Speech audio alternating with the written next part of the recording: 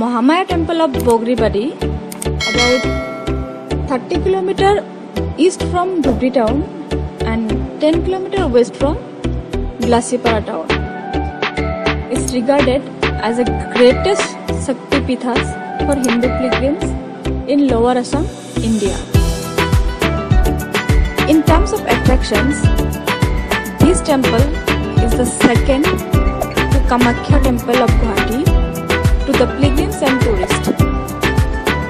It is believed that the famous goddess Mahamaya was traditionally worshipped by the local people of Parvatjowar like Kacharies, Koches and Naths. It was also the preceding deity of the Zamindar or landlord of Parvatjowar. Later, goddess received wide acceptance, and these days, all Hindus of Lower Assam worship Mother Mahamaya. This temple has a 400 year old tradition of animal sacrifice, especially at the time of Durga Puja. Usually, hundreds of animals or birds like buffaloes, goats, pigeons, and ducks are slaughtered.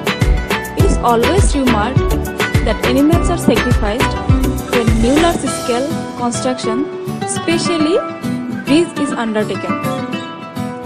These days, animal lovers are voicing against this ghastly tradition.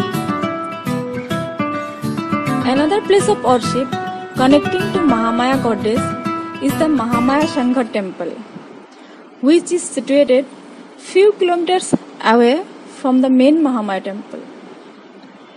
In the ancient time, as the local people believe, it is the place where the goddess Mahamaya used to take bath. And for that time, the place came to be known as Mahamaya Snaanghat. Every year in the month of January around, a Shakti Yagya is performed here by the temple priest. ইয়াৰ আচলতে বিশেষত্বটো হ'ল ইয়াত কোনো মঠ মন্দিৰ তেতিয়া নাছিল। ঊনৈছশ তিৰানব্বৈ চনৰ আগলৈকে ইয়াত এইখিনি জেগা অটব্য জংঘলৰ মাজত পৰিণত আছিল সেই জংঘলৰ মাজত এজন ৰামচৰণ চৌধুৰী নামেৰে সাধু বাবা আছিল। তেওঁ গাঁৱে ভূঞে ভিক্ষা কৰিছিল আৰু ইয়াত এটা গোবিন্দ মন্দিৰ আছে এই নিকটে চাব পাৰিব এইটো মন্দিৰ। সেই মন্দিৰৰ কাষতে জংঘলেৰে জুপুৰি ঘৰ বনাই এওঁ আপোনাৰ ৰাতি প্ৰবাস কৰিছিল। আৰু বাটতে বহি এই অঞ্চলৰ ৰাইজে আপোনাৰ সেই মন্দিৰলৈ গৈছিল। তেতিয়া সেই মানুহবিলাকক কৈছিল মা মহামায়া এই জংঘলৰ মাজত আছে। কোনোবাই বিশ্বাস কৰিছিল কোনোবাই বিশ্বাস কৰা নাই।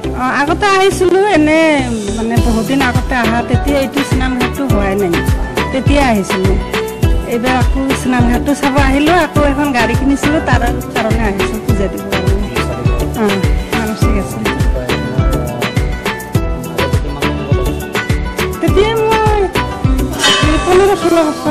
এনেকুৱা হৈছে। আপুনি আগতে আহিছিল। অহা নাই আহিছো সৰুতে। ক'বই নোৱাৰো এতিয়া ডাঙৰ হয় এতিয়াহে আহিলো।